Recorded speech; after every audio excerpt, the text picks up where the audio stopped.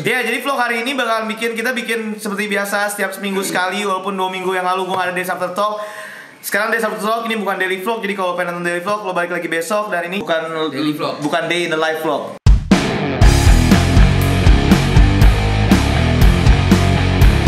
Karena sohib gua Akbar Sohib gua Akbar kayak dia pengen banget ngebahas ini. Tadinya kita pengen ngebahas yang lain, tapi Kita kan- karena ada yang lagi hype dan sohib gua Akbar dia pengen banget ngebahas masalah ini. Jadi kita tonton dulu videonya ini. Nonton dulu ya. Nonton dulu. Detik-detik. Oke. Detik, detik. Kita nonton persingkatannya berarti detik-detiknya aja lah ya. Iya. Berarti dua detik ada nih. Yang berapa menit? Katanya 11 menit lah ya. Dia mau kobok. Aslinya Dia mau oh, Cici cuit. Oh, terinspirasi dari kisah nyata Oh, di jalan. ini iklan, ini iklan. Oh, iklan. Ini iklan. Sorry, sorry, sorry. Skate apa sih nama channel ini? Part. Be- beda media. Hai. Kok kayak gini ya?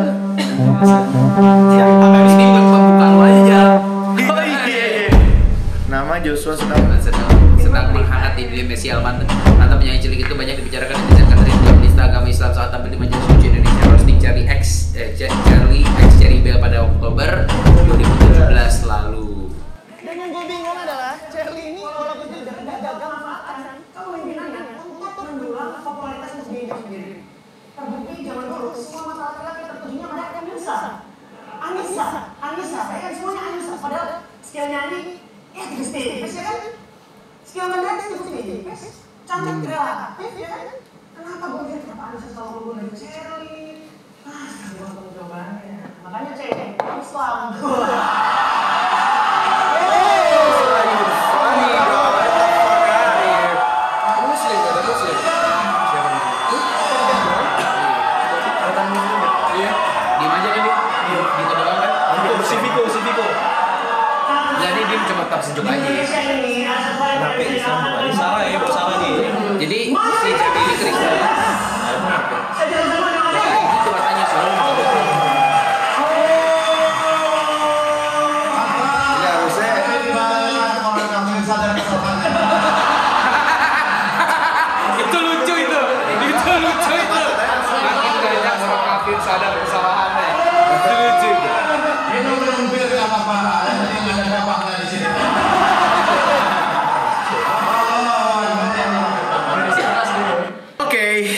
Ngomongin satu-satu. Jadi langsung aja ngomongin satu-satu.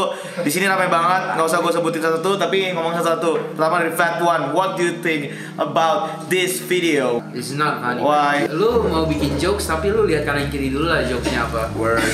Ngerti nggak lo maksudnya? Gak sembarangan men orang bisa diterima di sini dengan jokes kayak gitu. Lu harus lebih pintar dalam membuat jokes sih menurut gue. Uh, Lebih cerdas ya. Harus lebih cerdas ya. right, right. Gue nggak tahu mereka itu tertawa, tertawa sekedar tertawa atau memang karena tertawa dan karena gue tidak tertawa melihat hal yang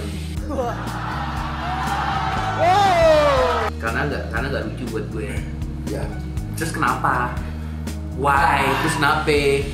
Yo, eh, Lo kayak apa aja gitu. siapa?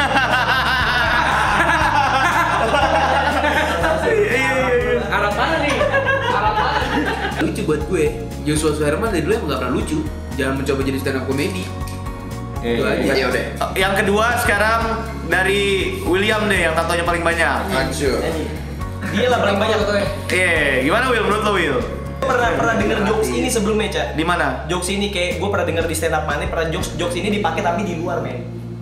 Well, konteksnya beda bro. Iya gitu, lo gue bilang lo salah tempat men, lo salah tempat aja. Ya begitu, dan tuh di sini sensitif banget kan. Yang kasus-kasus terakhir kan kebanyakan kan penistaan agama nih. Jadi lo lo kena men begitu men. Jadi menurut gue ya nggak polite aja lo pakai lo heroes, heroes. Oke, karena William ngomongin salah tempat, sebenarnya di statement plot ada pembahasan tentang ini juga, tapi Akbar nggak ikutan, makanya gue bikin video ini. Akbar selesai, kita balik lagi ke Berti, masalah salah tempat. Gimana Ber? This is the, the problem is uh, stand up comedy is about pushing boundaries, right?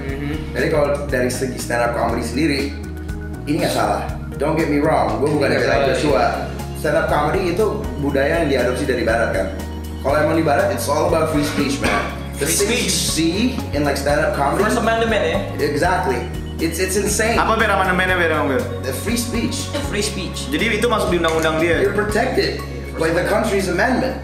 Lu sama negara. di US. Free speech, exactly, in the US. That's why stand up comedy thrives over there.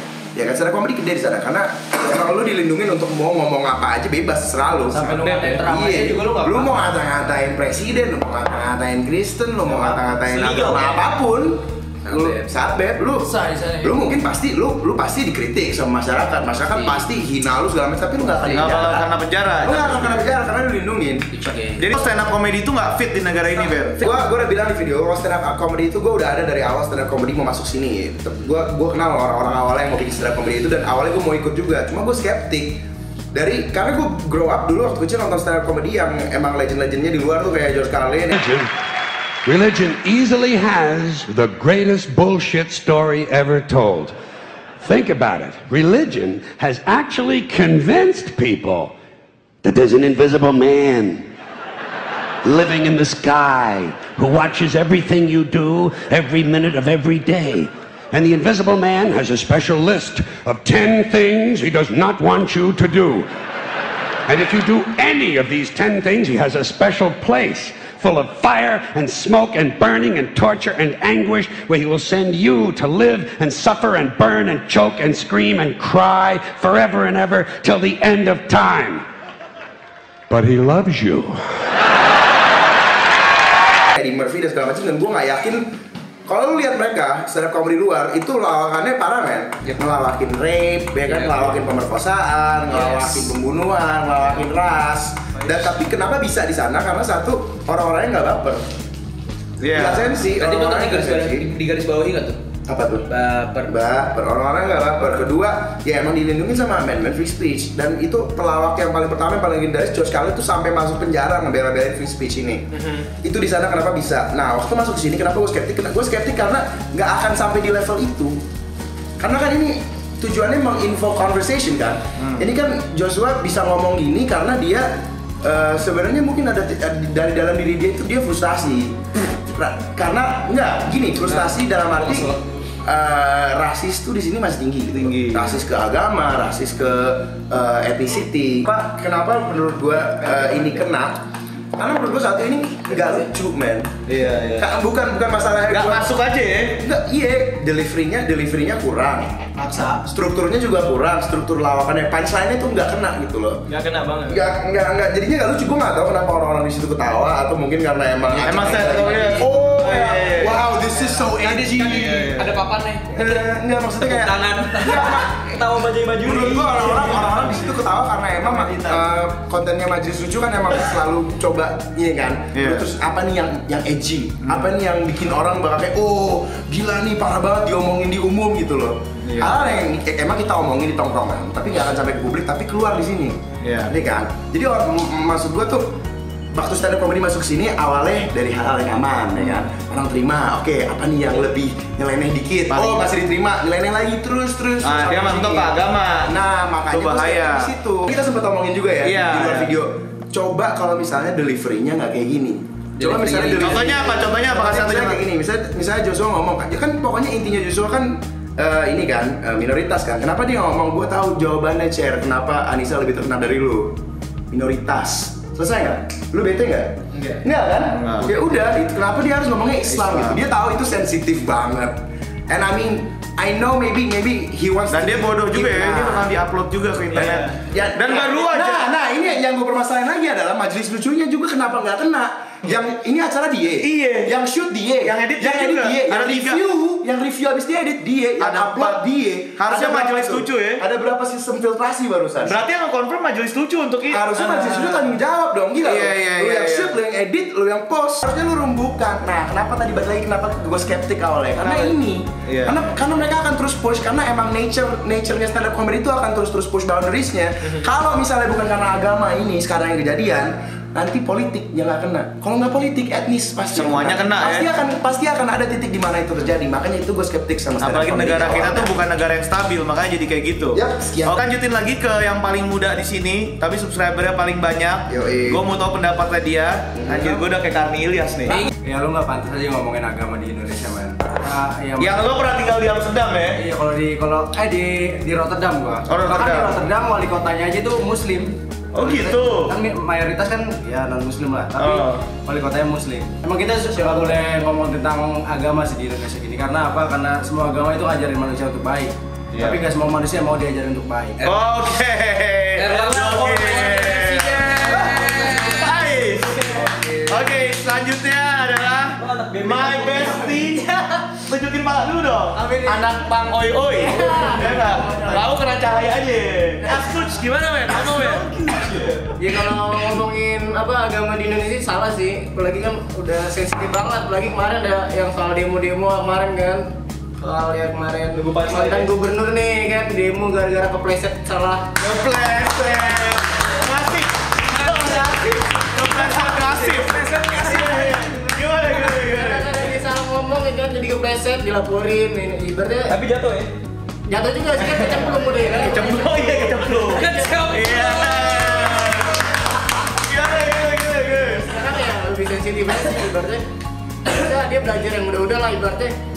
Joshua gitu kan nggak ibaratnya kan Lebih dia lebih cerdas lagi memberikan. Ah, bisa lebih apa saya lagi lo, lo mau ngomong apaan tuh ini Indonesia cuy bukan Amerika.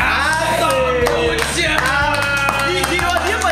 Hollywood banget, jiwa dia yang alive banget, tapi dia bisa ngomong gitu cuy. Ini gokil banget. LA Sun fan. Ale nanya orang yang paling sehat di sini. Karena Berti udah gendut sekarang kata kata netizen. Iya? Oke, gimana Ale? Iya. Lagi sensitif banget di Indonesia kan nih. Apalagi harusnya lu harus bisa lebih memilih Kata-kata kali ya. kata-kata topik kayak Berti tadi bilang tuh bener banget. Karena itu bener juga kita harus bisa lebih memilih topik lagi bahasa penyampaian sih. Karena beberapa kadang orang Indonesia tuh suka salah dari penyampaiannya kalau gue rasa ya. Kadang-kadang yang nyerempet-nyerempet aja bisa dijadiin gitu. diputer-puter Iya. apalagi Iya, iya. kondisi politik yang nggak stabil kadang butuh berita dan apa apa ya Joshua fakta juga kena doi Joshua datang ke sini aja. gitu aja kan kayaknya Gitu aja. oke sekian dari Alex dan yang paling terakhir my lord dia udah mikirin dari tadi omongannya gue tahu siapa lord damai sini eh, eh. yang deket dulu dong Iya. oh iya iya gimana ya kamu mau ngomong apa ya buat Joshua Udah Joshua jadi penyanyi cilik aja. Gede. Kenapa? Kok gitu? Gak bisa jadi stand up. Kenapa emang? Ya ngomong-ngomong aja. Anjir, udah gitu aja, Mas. Nggak ada lagi. Salah nggak sih ngomong kayak gini? Salah kagak lah. Kita bener nggak nih ngomong gini? Salah. Jangan salah ya. Udahan aja. Gosipin orang dulu. Lalu tadi sebelum pengen ikutan. belum. Dari sebenarnya dari semua ini sih emang udah Sebebas itu untuk Negara kita itu di Pancasila pertamanya itu sebenarnya ketuhanan yang Maha Esa. Dari ketuhanan yang Maha Esa itu dibagi lagi atas beberapa agama yang diakui sama negara Indonesia. Yang jadi masalah kalau lo bikin jokes atau bikin uh, suatu uh, bercanda tentang agama itu sensitif banget di negara ini karena uh, di Pancasila kita yang pertama itu kayak ketuhanan yang Maha Esa mengakui banget sama namanya agama. Pokoknya pelecehan agama tuh Pelecehan hukumnya. Iya. Masalahnya udah ada hukumnya. Bahkan kata-kata di internet aja udah ada. Udah ada. Tapi tapi gue potong sorry. Apa? Tapi lu lu lu, lu pernah gak sih ngalamin kayak gitu lu di tongkrongan lu agama juga jadi bahan lawakan gitu. Jadi yang salah di sini menurut gue sih yang nyebarin sih sebenarnya. Iya, aduh tambah lagi. Nah, gue nyambungin dari Garis bawah tuh ya. Tapi bahan salah kan. apa? Apa? Salah bahan. Salah bahan ya? Iya, iya, iya.